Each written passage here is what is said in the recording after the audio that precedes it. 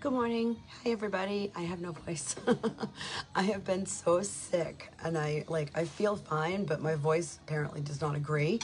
So I'm gonna do my best to get through this, but um, I just wanted to pop on because I haven't in a while and there's been a couple of questions coming my way and I wanted to address them and um, yeah, so that's about it. So how's everybody doing? And it's um, it's Wednesday, right? Yeah, it's Wednesday. I got my pink on, so on Wednesdays we we wear pink. we still can't speak though.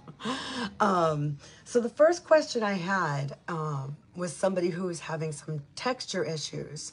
And texture issues can come from a multitude of different sources, but the most common ones are either A, you're using too much, um, B, your brush isn't clean enough, or C, um, you need to use some kind of a setting spray to take off the excess.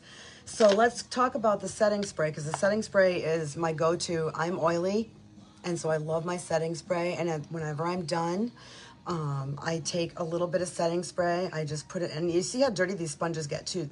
Clean your sponges too. Um, take a little bit of setting spray and just squirt it on your sponge. Let it set in a little bit. And then you just you just tap off your excess and that's going to help with texture.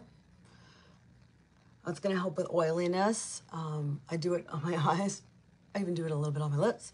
Um, it helps things to set, it helps things to stay.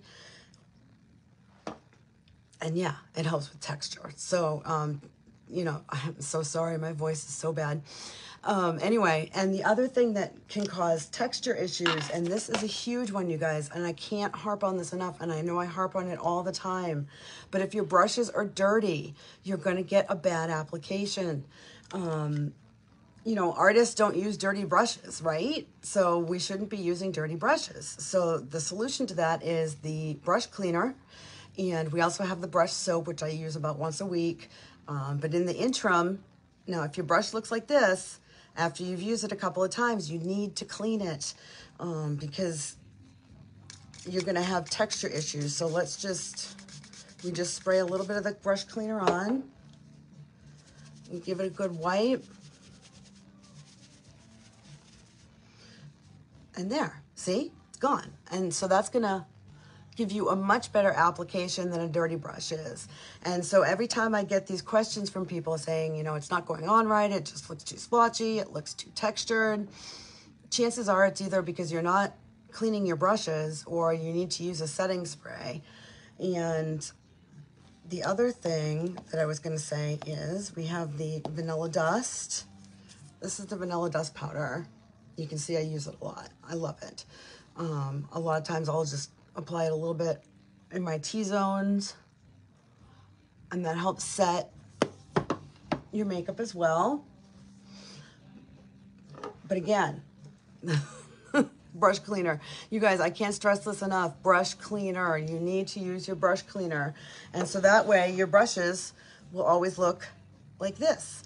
And the application you get will always look flawless. And that's pretty much all I had for you today. And that's pretty much all I can muster up with my voice. So I'm going to say goodbye. And I hope you guys have an awesome day.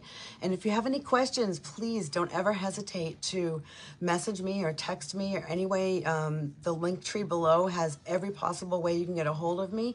And I would love to help you. And so would Lenny, who is crying in the background, who wants to go outside. So I'm going to go let my dog out. And I hope you guys have an awesome day. Love you. Bye.